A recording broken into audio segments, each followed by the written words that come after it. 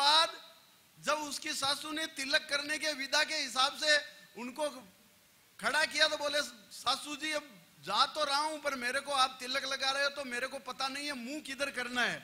दिशा का चक्कर रहता है। बोले, मुँह किधर करूँ?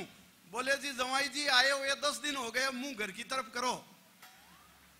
तो इस हँसी मस्ती और माहौल के बीच में मैंने आज दिन में जो आनंद देखा, वो आप तक पहुंचाना चाहता हूँ। और अगर आप लोग इस सुनने की मानसिकता में आ गए हो, मस्ती के मूड में आ गए हो, मैं माता बहनों को प्रणाम करते हुए अपने हास्य की पारी की पहली शुरुआत करना चाहता हूँ। लेकिन ये जो छोटी मोटी तालियाँ हैं, ये मेरे को उतनी हाई वोल्टेज की ऊर्जा नहीं दे पाएगी। मैं चाहता हूँ कि एक बार पूरा सदन पीछे से आगे तक मुझे इस बात के लिए आदेशित करे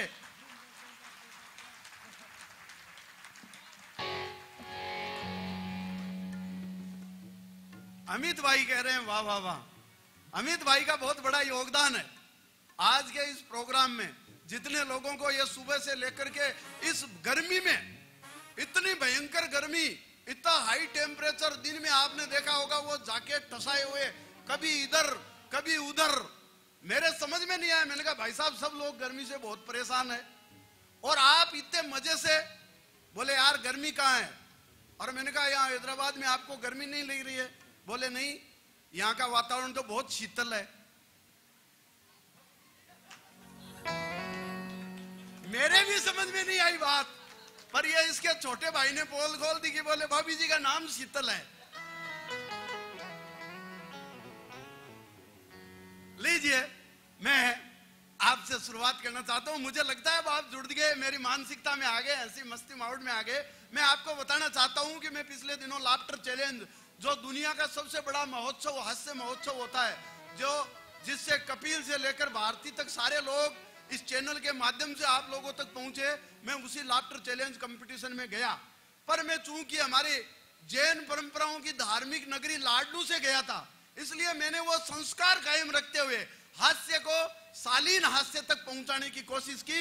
मैं आपको बताना चाहता हूँ, जब मैं बॉम्बे पहुँचा, राजस्थान की भाषा राजस्थान की सभ्यता, राजस्थान की संस्कृति को लेकर तो आदरणीय अमित जी, मेरे को बड़ी दिक्कत आई। और इतनी दिक्कत आई कि मेरे को तो बॉम्बे पहुँचते ही ट्रैफ़िक पुलिस वालों ने रोक लिया। मेरे को रोक करके पूछा, ये लाल बत्ती लेकर कहा घूम रहे हो? अरे, मैंने कहा, ये लाल बत्ती नहीं है। ये तो राजस्थान के आन बान शान का प्रतीक साफा है। अब वो समझे ही नहीं। उन्होंने मेरे से पूछा व्हाट इज़ मीन्स ऑफ़ साफा और जब ट्रैफ़िक वालों को मैंने राजस्थान का जवाब दे दिया है, जब ट्रैफ़िक पुलिस वालों ने मेरे को रोक करके पूछा व्हाट इज़ मीन्स ऑफ़ साफा तो मैंने कहा सर ये anti thermal loo scanner lot protector light weight helmet है. अरे बोले वेरी गुड ये तो बहुत काम की चीज़ है। मैंने कहा सर इसके तो मल्टीपर्पज यूज़ है। बोले, यार साफा और क्या काम आता है? तो मैंने पूरे राजस्थान की ओर से जवाब दिया। अरे मैंने कहा, सर, इसको होल्ड करके फोल्ड करके मोल्ड करके कुछ भी काम लो। बोले एग्ज़ाम्पल दो। तो मैंने उनको बताया, मैंने कहा, सर, इसको गोल करके तकिया रोल करके रस्सी, खोल करके चादर बना सकते हैं। अरे, झोल करे तो ये थैला बन जाता है और सिर पर लगते ही आदमी मारवाड़ का छेला बन जाता है। ये तो एक फेंटा है, फेंटा क्या है? एक फेंटेसी है। इसकी आड़ में बदसूरती आदि हो जाती है और इस साइन बोर्ड के लगने से तो कई गंजों की शादी हो जाती है। ये ये राजस्थान की मस्ती है। अच्छा देखो, मैं गाँव का आदमी, मेरी घरवाली थोड़ी अल्ट्रा मॉडर्न इंग्लिश पढ़ी हुई। और इतनी अल्ट्रा मॉडर्न कि जब वो अंग्रेज़ी में बोलती है तो अपने पल्ले नहीं पड़ती। और जब मैं मारवाड़ी में सरकाता हूँ तो उसके पल्ले नहीं पड़ती। इस प्रकार हमारे घर में भगवान शांतिनाथ की कृपा से पूरी शांति रहती है। वो एक दिन मैंने उसको लाड लाड में ऐसे ही कह दिया कि तू तो गेली है। अब वो समझे नहीं इंग्लिश मीडियम वाली गेली का अर्थ। उसने मेरे से अंग्रेज़ी में पूछ लिया व्हाट इज़ मीन्स ऑफ़ गेली? अब मैं उसको ये थोड़ी कहता, तू बावड़ी है। अरे, मैंने कहा, गेली means lovely beautiful charming mind blowing and you can say just like Leila वो तो खुश होके मेरे गले लिपट गई, बोली then you are also very गेला ये ये अपने राजस्थान की मस्ती है। ये अपने राजस्थान का मिठास है। मैं आपको बता दूँ, आजकल मैं लाडलू से जयपुर शिफ्ट हो गया। और जिस दिन से शहर में आया हूँ आप जानते हो शहर के चौंचले बहुत है। शहर में आप देख लो आदमी तो सिक्स पैक के चक्कर में औरतें ज़ीरो फिगर के चक्कर में दिन भर कोई न कोई वर्जिश करती रहती है। हालाँकि काम दोनों का ही नहीं होता। Yeah. आदमी सिक्स पैक के चक्कर में सिक्स पैक तक आके अटक जाता है। Yeah. और औरतें चम्मालीस इंची से ज़ीरो इंची तक कभी आ नहीं पाती। लेकिन फिर भी एक्सरसाइज और जिम और ये वो मेरी घरवाली को भी चढ़ा चस्का। मॉडर्न होने का, एकदम फिटनेस लाने का तो हमारे कॉलोनी की औरतें रोज घूमने जाती थी। वो उनके साथ रोज मॉर्निंग वॉक पे। अच्छा उनके लोगों का तो पहले सिस्टम था। मैं तो नया नया शिफ्ट हुआ था। उन सबने घर में कुत्ते पाल रखे थे। वो रोज सुबह घूमने जाते तो अपने कुत्ते को साथ घुमाने ले जाती। अब मैं नया नया हमारे घर में कुत्ता नहीं था। मेरी घरवाली भी रोज घूमने जाती, पर हमारे घर में कुत्ता नहीं था। वो रोज मुझे ले जाती। अच्छा कई दिन तक तो मुझे इस सम्मान का पता ही नहीं चला। जब बाद में पता चला तो मैंने सोचा यार इसके बजाय तो अपने घर में भी मॉडर्न होने के लिए घर में एक कुत्ता होना ज़रूरी है। आप जानते हो शहर में घर में देखो अपन तो कहते हैं गाय पालो गाय पालो। लेकिन जिस आदमी के घर में गाय हो जाए शहर में उसको कोई मकान किराए नहीं देता। और जिस आदमी ने घर में कुत, जिसने कुत्ता खरीद रखा है उसको पूरे मोहल्ले वाले सैल्यूट करते हैं। आदमी को नहीं, कुत्ते को। तो मेरी घरवाली के भी चढ़ा चस्का, आपस में बात हुई। वो एक दिन मेरे से यूँ ही बोली कि अपन एक काम करते हैं, अपन भी एक कुत्ता लाते हैं। और मैंने कहा, मेरे होते हुए? बोले, नहीं, कोई बढ़िया नस्ल का लाएँगे। हम बाज़ार गए। बाज़ार में मैंने देखा, अपने गली में जो गुचरिया टाइप का कुत्ता पिल्ला होता है ना, वैसा पड़ा हुआ। लेकिन सेल्समैन की सेल्समैनशिप देखिए उसने मैडम को पटाना शुरू किया। मेरे को तो वो देखते ही नहीं देता उसने पाँच हज़ार रुपए बताए, मेरा मूड खराब। लेकिन उसने सेल्समैन ने मैडम को पटाना शुरू किया। देखिए मैडम, ये कुत्ता बहुत शानदार है। बहुत जानदार है। बहुत पढ़ा लिखा है, बहुत ट्रेंड है। आप ऐसा काम करो, इसको ले जाओ। केवल पाँच हज़ार का है। मेरी घरवाली ने मेरी तरफ़ इशारा करके कहा, साहब को पसंद नहीं आ रहा है। सेल्समैन ने देखा, ग्राहक गया हाथ से। उसने यूटर्न मारा। मैडम को दूसरे ढंग से समझाया। उनको लग गया कि मैं तो खरीदने नहीं दूँगा। तो उसने मैडम को भड़काया। बोले, देखिए मैडम, और सेल्समैनशिप का कमाल देख के आपको मस्ती आ जाए तो फिर आपकी तालियाँ चाहता हूँ। जब मेरे नहीं जचा, मैंने घरवाली को बता दिया कि ये काम का नहीं है तो उसने सेल्समैन ने मिसेज को पटाना शुरू किया। देखिए मैडम, ये कुत्ता बहुत शानदार है, बहुत जानदार है, बहुत ट्रेंड है, बहुत एक्स्ट्रा ऑर्डनरी है। एक और है, ये इस नस्ल का आखिरी कुत्ता है। एक बार हाथ से निकल गया ना, वापस नहीं आने का। पत्ती का तो क्या है? अरे मैंने देखा, ये तो अपनी इज़्ज़त का सवाल है। उसने जब बेचने की तैयारी कर ली तो मैंने मिसेज को समझाना शुरू किया। अरे मैंने कहा, मैडम, देखिए, ये ऐसा कुत्ता नहीं है। ये तो एकदम जाहिल, गंवार, अनपढ़, आवारा टाइप का कुत्ता है। तुम क्या सोच रही हो? इसको घर ले जाकर के ट्रेंड कर लोगी? वो बोली अच्छा आप वो दिन भूल गए क्या? तो भाई साहब, मॉडर्न होने में बहुत रगड़ा। वो मैं जब से लाडलू से जयपुर में शिफ्ट हुआ हूँ, मेरी घरवाली को भी वो मॉडर्न होने के चस्के के साथ साथ आप जानते हो, शहर में आजकल बहुत बड़ी बीमारी है कलर मैचिंग की।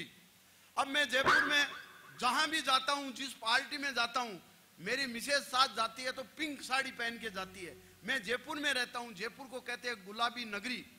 तो वो जयपुर में जिस पार्टी में जाती है, पिंक साड़ी पहन के जाती है। मैंने पूछा, क्यों? बोले, पिंक सिटी में रहते हैं, इसलिए पिंक साड़ी। और मैंने कहा, वेरी गुड। बोले, ये क्या है? बोले, कलर मैचिंग। और मैंने कहा वे तो मामला गड़बड़ है। मैं पिछले दिनों लाल किला गया। वो कलर मैचिंग के चक्कर में लाल साड़ी पहन के गई। मैं हरियाणा गया, वो हरी साड़ी पहन के गई। मैं पीली बंगा गया, वो पीली साड़ी पहन के गई। आदरणीय चेयरमैन साहब, अज्ञात आशंका के चलते मैंने नागालैंड का टूर तो कैंसिल ही कर दिया।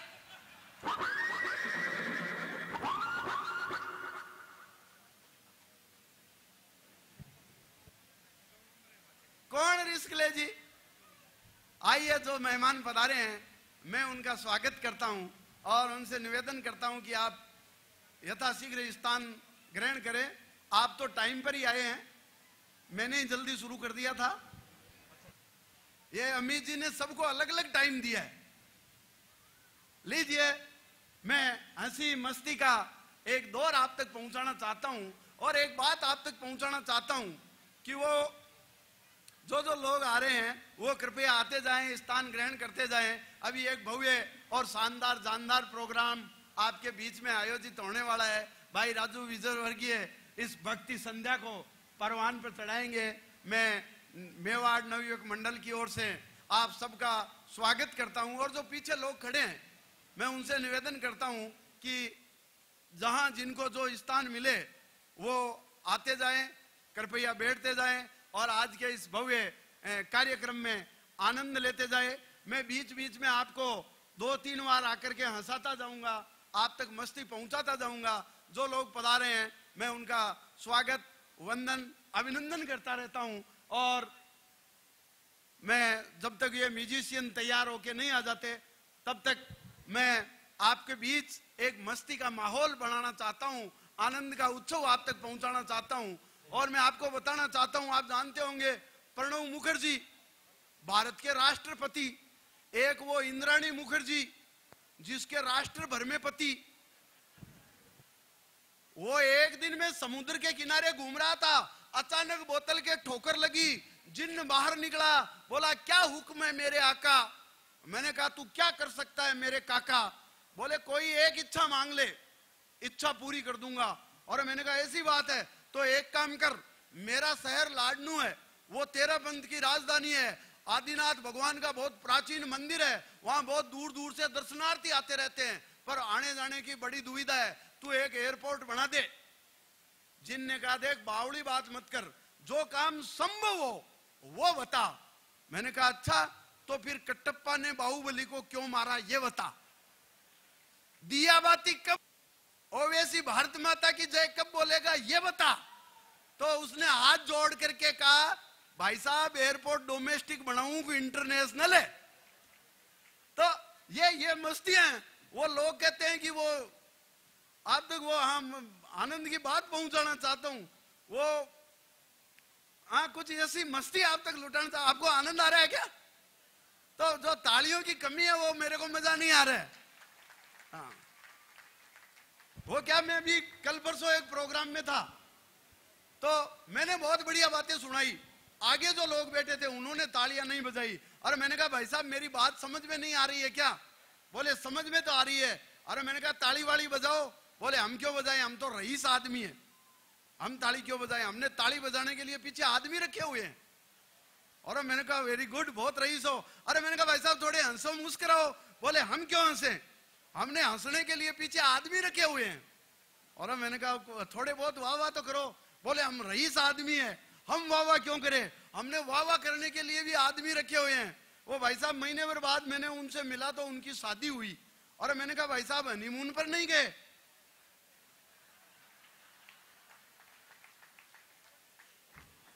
तो इस हँसी मस्ती के माहौल में मैं आपको बताना चाहता हूँ, देखो, मैं तो गाँव का आदमी हूँ और गाँव की मस्ती आप तक पहुंचाना चाहता हूँ। कुछ बातों से आनंद आप तक पहुंचाना चाहता हूँ। मैं आपको बता दूँ, ये सारी बातें जुड़ने जुड़ाने के लिए मैं आपको इसलिए बताना चाहता था, इस मस्ती को आप तक पहुंचाना चाहता था। मैं दूसरे दौर में फिर आऊँगा, फिर एक और जोरदार माहौल देखे